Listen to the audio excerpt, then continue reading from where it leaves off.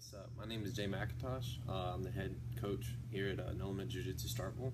Uh, what I'm going to go over today is proper hand wrapping for the hands. Um, hand wrapping is important. It keeps your knuckles, everything together, uh, all the small bones from breaking when you're either doing mitt work, pad work, or working on the heavy bag or even sparring. So these are 180s. Uh, there are some uh, shoulder wraps, 108s. So this is how we go. Make sure you put it around the thumb. Wrap it around a few times around the wrist. It's always more important to get the good wrist support around the thumb. Here.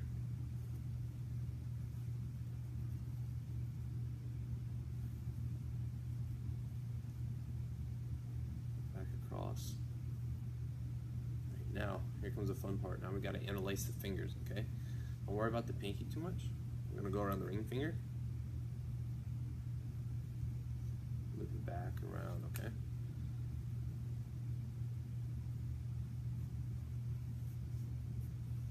Around the middle finger.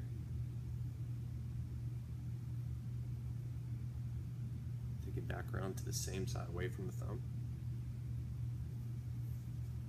Around the pointer finger. That's what I'm doing.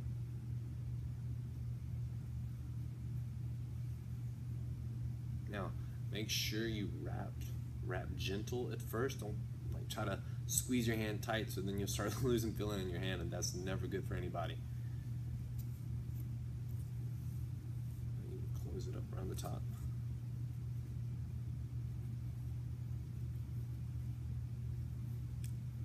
Then we'll focus a little bit more around the wrist. Like I said before, wrist, wrist support is the most important support. Can't allow my wrist to start bending.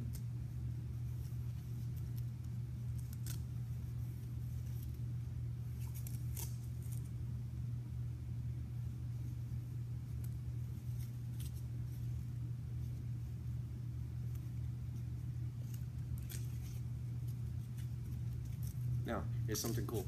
If you're ever starting wrap and you you know find yourself where you're like this here, where the Velcro's not matching, what I do is pinch, flip it around.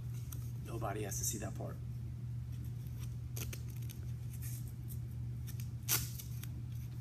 There you go. Basic hand wraps for Muay Thai, boxing, anything like that. Just real simple. There's many ways out there, but this is my way.